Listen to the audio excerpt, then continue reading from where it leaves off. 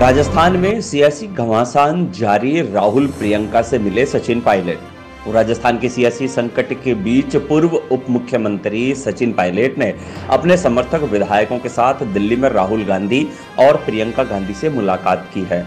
सूत्र बताते हैं कि कांग्रेस ने उन्हें दोबारा प्रदेश अध्यक्ष का पद देने की संभावनाओं से इनकार कर दिया है। हालाँकि उन्हें कांग्रेस पार्टी का राष्ट्रीय महासचिव बनाया जा सकता है। सूत्रों के अनुसार सचिन पायलट की पिछली दो दिन में कांग्रेस के कोषाध्यक्ष अहमद पटेल और संगठन सचिव केसी वेणुगोपालन से मुलाकात हुई है। सचिन पायलट की कांग्रेस महासचिव प्रियंका गांधी वाड्रा से टेलीफोन पर बात होने की सूचना भी है। उधर पार्टी आलाकमान का रुख देखते हुए मुख्यमंत्री अशोक गहलोत ने अपने खेमे के विधायकों से कहा, राजनीति में कभी कभी जहर का कड़वा घूट पीना पड़ता है। उन्होंने कहा कि कई बार दिल पर पत्थर रखकर फैसले करने पड़ते हैं। सोमवार को जैसलमेर से जयपुर रवाना होने के पहले गहलोत ने अपने विश्वस्त मंत्रियों, विधायकों के साथ विचार विमर्श किया।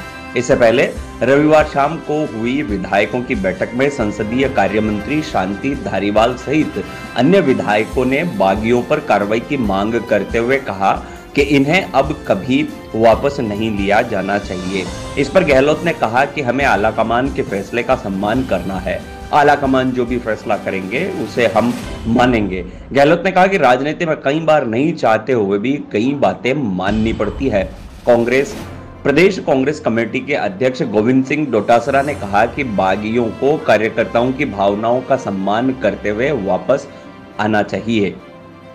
उधर कांग्रेस कार्य समिति के सदस्य रघुवीर मीणा ने कहा कि बागी विधायक अगर फ्लोर टेस्ट में कांग्रेस के पक्ष में वोट करते हैं तो उन्हें माफ़ कर दिया जाएगा रघुवीर मीणा के बयान को सुलह की कवायद से जोड़कर देखा जा रहा है कांग्रेस की कोशिश कर रही है कि जो 14 अगस्त से पहले किसी भी फॉर्मूले पर बात बन जाए और पायलट वापसी के लिए तैयार हो जाएँ। ताकि फ्लोर टेस्ट से पहले ही सरकार को सुरक्षित किया जा सके।